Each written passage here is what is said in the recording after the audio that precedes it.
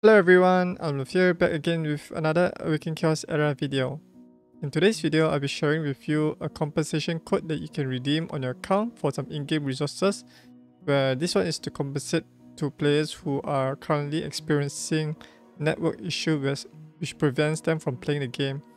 So let me, uh, so in order to uh, redeem the, the, compensation code, click on this star icon at the top uh, right hand corner of the screen. Click on this and then go to settings.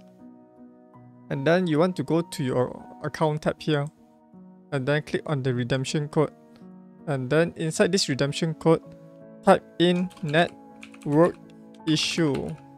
Right, it doesn't really matter the capital letters, just put network issue and click confirm and then you will say please claim it from your mail so do claim it before it expires so let's head over to the mailbox and then this is the compensation for the network issue.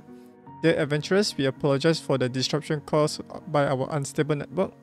We are currently working to fix this issue and ensure a better experience for you all.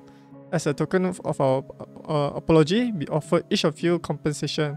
Thank you for your patience and loyalty from the the Awakening Chaos developers team. So they provided us with 500 diamonds, 150,000 gold coins, and as well as 3,000, uh, sorry, 300,000 EXP jelly to allow us to level up our heroes.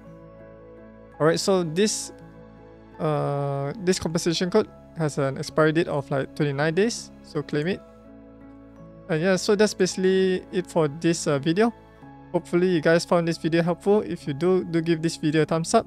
And if you're new to my YouTube channel, click on the subscribe button as well as ringing the notification bell to stay up to date whenever I upload a new video on this channel. Thanks for watching and I'll see you guys in the next video.